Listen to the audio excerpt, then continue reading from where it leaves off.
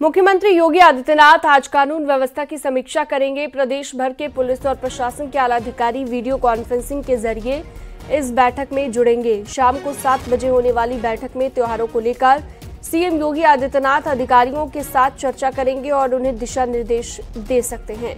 दिवाली को लेकर सीएम योगी व्यवस्थाओं को चाक चौबंद करने के साथ ही कानून व्यवस्था को लेकर बेहतर तैयारियों के संबंध में दिशा निर्देश दे सकते हैं।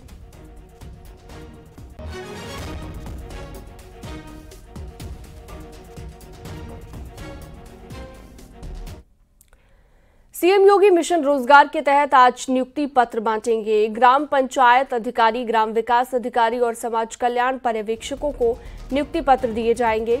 लखनऊ के लोक भवन में सुबह साढ़े दस बजे कार्यक्रम होगा। इस कार्यक्रम में सीएम योगी एक हज़ार पाँच सौ छब्बीस ग्राम पंचायत अधिकारी 360 ग्राम विकास अधिकारी और चौसठ समाज कल्याण पर्यवेक्षकों को नियुक्ति पत्र देंगे।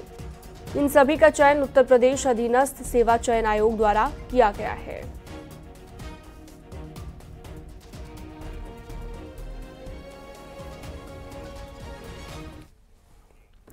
समाजवादी पार्टी के महासचिव शिवपाल यादव ने सरकार पर बेईमानी कर चुनाव जीतने का आरोप लगाया है। शिवपाल यादव ने कहा है कि सरकार चुनाव जीत नहीं रही है। प्रशासन के दम पर चुनाव जीता जा रहा है। मेरी सरकार और प्रशासन से अपील है कि चुनाव निष्पक्ष कराएँ। अगर निष्पक्ष नहीं कराएँगे तो समाजवादी पार्टी के कार्यकर्ता बेईमानी नहीं होने देंगे। उसके लिए कुछ भी करना पड़ जाए।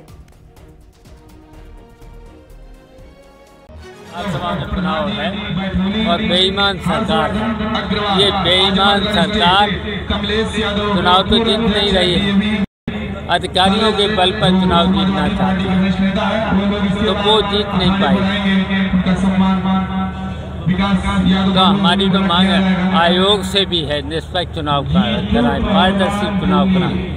और ज़िले में जो जिला अधिकारी हैं, उनसे भी हमारी अपील है। वो भी निष्पक्ष पारदर्शी चुनाव कराएँ और नहीं कराएँगे तो फिर समाजवादी पार्टी के कार्यकर्ता बेईमानी को नहीं होने देंगे। कुछ भी करना पड़े, बेईमानी नहीं होने देंगे। यूपी सरकार के अल्पसंख्यक कल्याण राज्य मंत्री दानिश अंसारी ने मुख्यमंत्री योगी आदित्यनाथ को पत्र लिखा है। पत्र में मदरसा आधुनिकीकरण योजना में आ रही दिक्कतों के बारे में जानकारी दी है मदरसा आधुनिकीकरण योजना को राज्य स्तर पर चलाने का अनुरोध किया है। फ़िलहाल अभी तक केंद्र और राज्य के सहयोग से मदरसा आधुनिकीकरण योजना चलती आ रही है।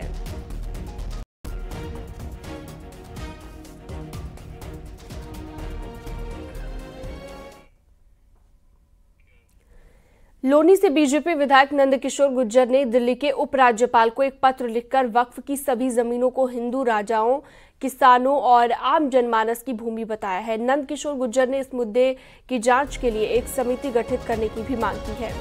उन्होंने कहा है कि वक्फ का कब्जा हटाकर असली हकदारों को उनकी जमीनें लौटाई चाहिए।